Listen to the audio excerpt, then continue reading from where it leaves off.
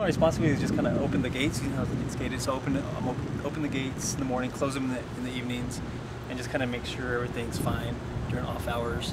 Okay. And then I've got some responsibilities during the weekend in terms of watering some plants. I pay actually, but it's very minimal. Just gotta be at the right place at the right time.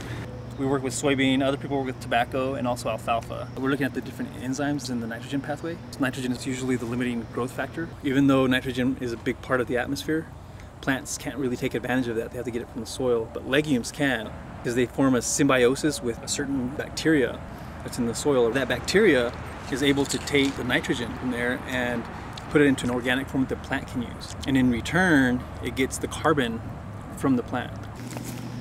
So are these grown for a purpose or? Uh, to eat. But there was once a, a homeless guy that was living, he was staying here. And so for a while there, I had to, you know, make sure to block those. I think that plants are far more interesting than, than humans because as humans, we can deal with our environment mechanically. You come over here to the shade to cool off, right? Uh-huh. But, you know, and if you're cold, what do you do? You know, you put a jacket on. But plants, they can't do that. They can't just get up and walk away from an environment. They're cold or they're hot, right? Uh-huh. They have to deal with it. So what they do, they respond internally with their biochemistry. So they're far more, far more diverse that way.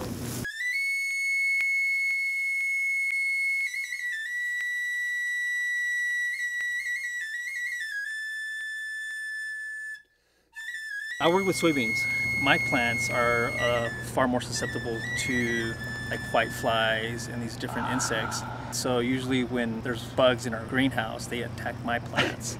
so my plants are the first to go, and then I'm, I'm also get blamed for it because you look at you know you see the healthy alfalfa and you see my plant all you know show a little Like, well, it's coming from your plant.